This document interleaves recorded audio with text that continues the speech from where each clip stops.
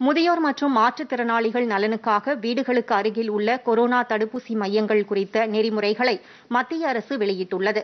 இதன்படி தடுப்பூசி போட்டுக்கொள்ளாத அல்லது முதலாவது டோஸ் மட்டும் போட்டுக்கொண்ட அறுபது வயதுக்கு மேற்பட்டவர்கள் மாற்றுத்திறனாளிகள் ஆகியோர் தேசிய கொரோனா தடுப்பூசி மையங்களில் தடுப்பூசி செலுத்திக் கொள்ள தகுதி உள்ளவர்கள் என்று அறிவிக்கப்பட்டுள்ளது.